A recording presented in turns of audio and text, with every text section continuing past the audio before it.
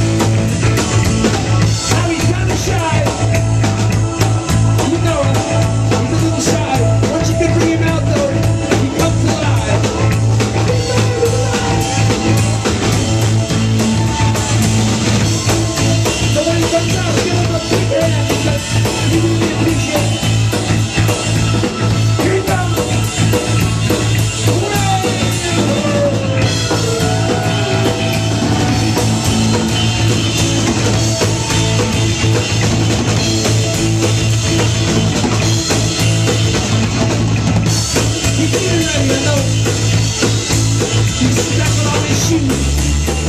He's lacing up. His